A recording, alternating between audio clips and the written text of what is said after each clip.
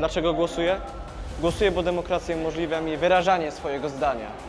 Bo chcę Europy przyjaznej dla młodzieży i rozwiniętej technologicznie.